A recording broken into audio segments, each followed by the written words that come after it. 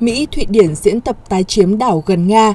Lực lượng Mỹ và Thụy Điển tổ chức diễn tập kịch bản đổ bộ tái chiếm Gotland, đảo có vị trí chiến lược trên biển Baltic và gần vùng lãnh thổ Kaliningrad của Nga. Các binh sĩ thủy quân lục chiến Mỹ cùng lực lượng Thụy Điển từ ngày 7 đến 12 tháng 6 tổ chức diễn tập đổ bộ đường không và đường biển lên Gotland, hòn đảo có diện tích gần 3.200 km vuông trên biển Baltic. Hoạt động này là một phần của diễn tập Bantops 2022 với sự tham gia của Mỹ, các thành viên NATO cùng Thụy Điển và Phần Lan.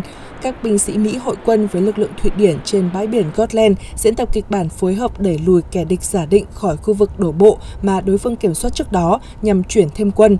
Đại tá Magnus Frickran, chỉ huy trung đoàn Gotland của Thụy Điển cho biết đây là lần đầu thủy quân lục chiến Mỹ tham gia diễn tập đổ bộ lên đảo Gotland.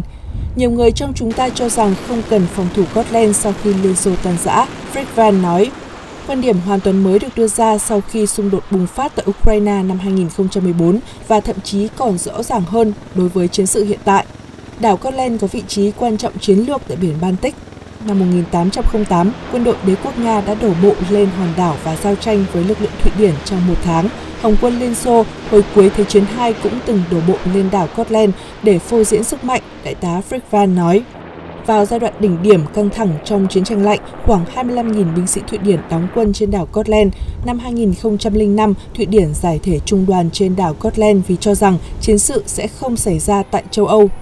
Tuy nhiên, Thụy Điển tái lập đơn vị quân sự trên đảo Gotland sau sự kiện Nga sắp nhập bán đảo Crimea năm 2014.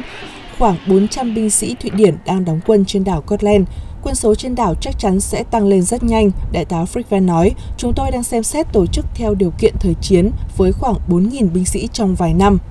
NATO tổ chức diễn tập Bantops 2022 cùng Phần Lan và Thụy Điển tại khu vực biển Baltic từ ngày 5 đến 17 tháng 6 trong bối cảnh căng thẳng trong khu vực biển Baltic leo thang sau khi Thụy Điển và Phần Lan nộp đơn gia nhập Liên minh quân sự. Mỹ điều tàu đổ bộ USS Kearsarge với 26 tiêm kích cùng 2.500 binh sĩ thủy quân lục chiến và thủy thủ tham gia Bantos 2022.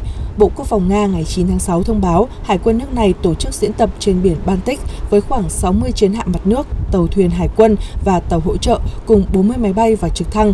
Các đơn vị hạm đội Baltic huấn luyện khoa mục bảo vệ và phòng thủ các tuyến đường biển cũng như căn cứ trong đợt diễn tập.